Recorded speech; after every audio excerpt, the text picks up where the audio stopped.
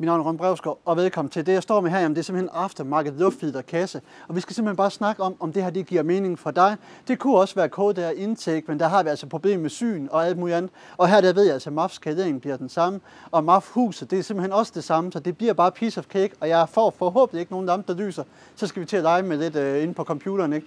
Men i hvert fald, det her det giver kun mening, hvis du har tænkt dig at røre ved motorstyringen også. Altså vinder du simpelthen for lidt ved det her. Så er du altså bedre tjent med at smide penge efter gevind under vogn, æderbremser. bremser. Så rører du ved din, øh, i mit tilfælde her ved motorstyringen, så har jeg vundet de der 15-17 heste, ikke? Og når jeg ikke gør noget, så vinder jeg altså kun 1-2 ved det her i faktisk HP, og ellers så er jeg på de der 5-6 teoretisk. Det er simpelthen spild af penge, og det giver altså ingen mening på den her bil. Måske hvis det var til banebro, men det er jo ikke der, vi er ved. Så det her, det burde jeg kunne få igennem syn. Det er også derfor, jeg gør det her nu.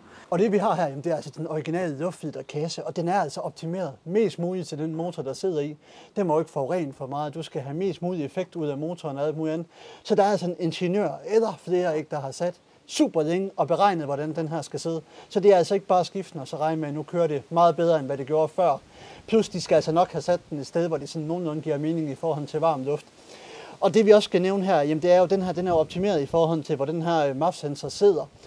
Og det stykke, vi har herover, jamen det er jo faktisk lavet til at sørge for, at du får sådan en jævn lufttryk igennem. Så det er ikke bare at sige, at fordi den har nogle knæk, så mister du alt muligt power, ikke? Der er altså også en længde og alt muligt andet, der ligesom gør, at den fungerer bedst muligt. Og hvis vi bare lige skal snakke det her JR Feeders, du får stadigvæk fire dages bomuld, der har det her mesh på begge sider, der både er anti-coated, men så det ikke får rust, og så får du altså også en plastikdip over det her mesh. Så det er altså lige så godt som dit K- og N-filter, vi har herover. Og ellers så er du altså på de der 2,8 microns, det er 99% filtrering. Igen, det samme som K og N, så det giver altså ikke mening at kaste mere efter den her over når du får det samme filter. Så her der har vi altså herlighederne. Vi har vores aftermarket luftfilter kasse. Vi har vores filter herover, som vi ved, vi vil gå med. Det kunne altså også være K og N, og jeg prøver selvfølgelig også begge to. Ikke? Men ellers så er det altså bare vigtigt at huske på, at mindre bøj og knækker og alt muligt andet, det gør altså, at vi ikke har det samme trykfald. Vi beholder øh, MAF-sensoren samme sted i det her tilfælde. Det vil sige, at flere synsmænd skulle være glade. Vi kommer ikke til at bøde med at skulle lave en afskærmning eller køre en ekstra slange op. Det kan godt være, at jeg bliver, bliver nødt til det med den her, for at være sikker på, at der kommer kun nok luft.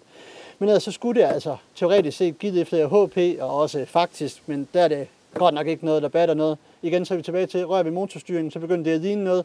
Rører vi udstødningssystemet og alt muligt andet, så begynder det at give mening. Men igen, så kan du rende ind i noget problem med syn, ikke?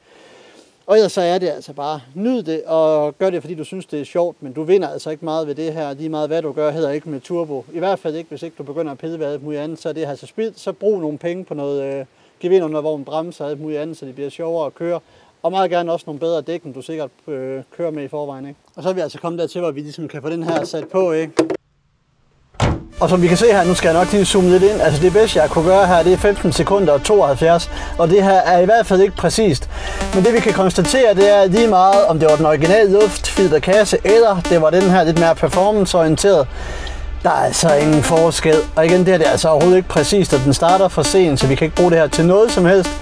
Men det beviser bare, at det her det har altså ikke gjort en forskel. Og vi prøver bare lige igen for god ordens skyld her.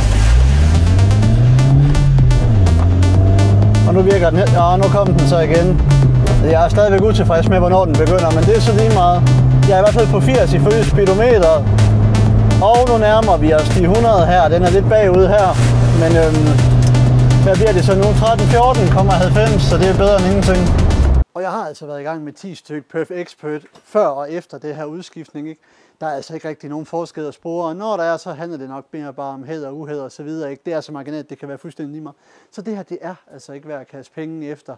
Slet ikke, hvis du ikke har tænkt dig at gøre noget ved motorstyringen og pille ved lidt andet, fordi så er det altså bare noget, der bare er sjovt at have. Går du med KDR indtægt, så skal den nok larme lidt mere, når du ligesom begynder at have klampen i bunden, ikke? men ellers er der virkelig ikke noget at komme efter her. Og bare så vi lige kan se, den er stok, så motorstyringen den sidder jo selvfølgelig derovre, og så har jeg altså mellemdæmper på. Det er ikke helt originalt, det er en Simons, der kører på, og så har jeg udtaget sports øh, bag på den. Ikke?